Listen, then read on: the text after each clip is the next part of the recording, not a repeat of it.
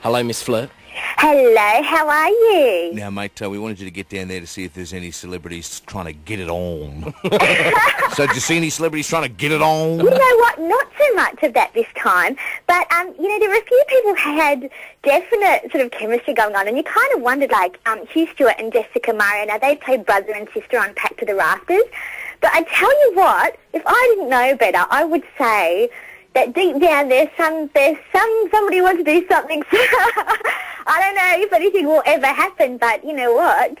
Maybe it should. Perhaps if they weren't playing brother and sister and they were playing boyfriend and girlfriend on the show, there would be a bit of romance there because there are some sparks flying, I tell you what. Very cute couple. They said they were best mates and they pretty much hang out and do everything together. Yeah, but you kind of get, oh, I don't know. I think it goes perhaps a little bit deeper than that, you know? What What about um, you know celebrities having one too many shardies and uh, getting ugly? Did you see any of that? You know what? At, at the end, you're only allowed to go into the little room, so you only see the winners.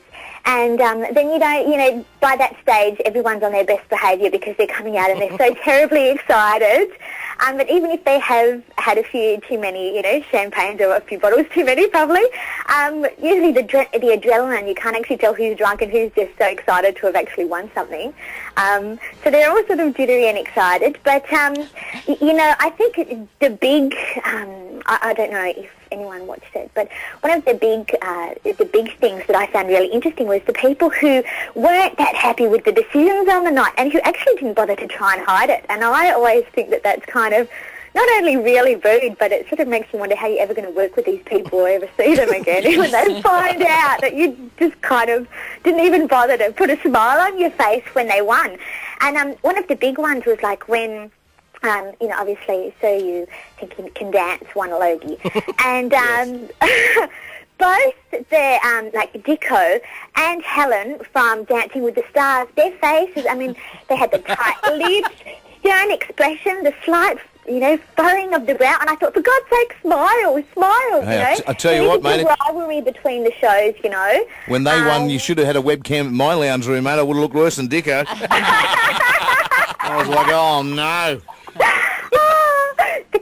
There was, I have to say, throughout the night, um, Rove and Tasma, oh my goodness, you know, I, I have to say, for anyone who's in a long-term relationship and kind of thinks, you know, things are getting a little bit boring, you look at those two and you think, oh, bless, they're so sweet. You know, they are really, truly in love. And they kind of put, I, I felt embarrassed actually because I sort of think here I am, you know, being with my husband for four years and God, I wish I was like them because they're just beautiful, you know, they're sort of, they're so lovey-dovey and even, you know, during, you know, on the red carpet and later on, you know, backstage and they're just really, really very, very much in love and you can see that they're quite besotted with each other and they're actually not there, you know, they're not there, they of course they're posing for the cameras, but it's very much about, you know, tit for tat playing, you know, and doing it for each other as well. And that's kind of nice because a lot of the celebs are sort of on the red carpet out for themselves, you know, and they're not like that and sort of showing each other off. And It was wasn't, so uh, sweet. it wasn't bordering on icky, though, was it?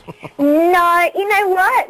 Um, it, they didn't have, you know, they're not kind of the hand all over each other couple, you Oh, know. that's so, okay. Yep. So it's not like you know they've particularly got their tongues shoved down each other's throat or they're, mm. you know, oh darling, I love you. It's it's not like that. It's just more, you know, they, they've got this undeniable sort of attraction Genuine, and chemistry. Yeah. and it's just beautiful. You know, they sort of look at each other with these doughy eyes, and it's it's more about their body language. Their whole bodies sort of mirror each other and work together, almost like they're dancing together. And it's just you don't see that very often. And when you do, it's just like, oh my god, you know, Don't wow. see And it very often. Really, from a long way away, you notice them. It's sort of like they they stand out. You Come know? On, like, mate. Every year we see it from Bert and Patty. They can't keep their hands off each other. Why are you going to be Oh. kidding me? Honestly, the No, number of times the camera well, I don't pans know about over. that. Oh, oh, yeah, Bert's all over Patty. Oh, yeah, maybe, yeah, but you see, that's the whole hands all over thing. I don't know. Miss Flirt, that's thanks. icky, isn't it? Yeah, that's icky. Thanks so much for the wrap up from the Logies. We'll talk to you again soon, okay?